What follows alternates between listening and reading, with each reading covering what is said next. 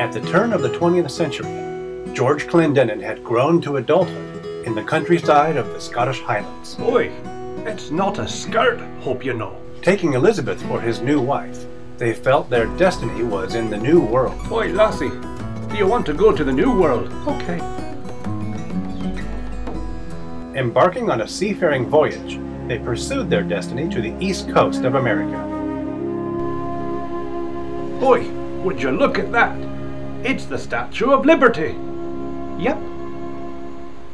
And George and Elizabeth built the foundation of family for generations to come. The end.